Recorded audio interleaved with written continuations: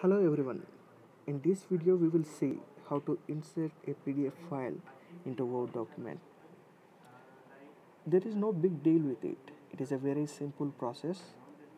Open the Word document, then go to Insert tab and go to Object and click on Object.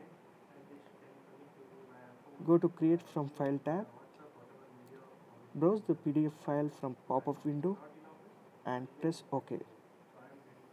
The PDF file will then be placed onto your Word document.